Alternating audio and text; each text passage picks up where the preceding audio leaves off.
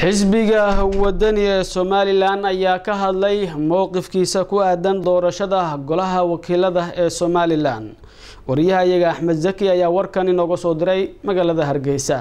War-saxaafadeed ka soo baxay xisbiga mucaaradka ee wadani oo ujeedkiisu ahaa mowqifka xisbiga wadani ka taagan yahay qabsoomidda doorashooyinka golayaasha wakiilada iyo deegaanka iyo sidoo kale go'aankii labada xisbi ee kulmiye ucid ay ku gaadheen magaalada hargeysa saddex iyo labaatankii bishan afraad labada kun iyo sagaal iyo tobanka.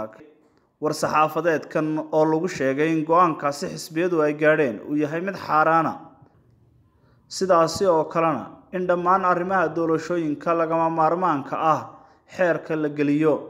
Xisbiga wadani waxa uu iyadana soo jeedimihii ururada bulshada rayidka ah ee somalilan iyo beesha caalamkaba ee ku saabsanaa in komishanka hadda jooga aan doorashada qabanayn la kala diro. Ugu dambeyn bisha lixaad juun labada kun iyo sagaal iyo tobanka si komishanka cusub loogu helo waqti ku filan oo uu doorashada ku qabto.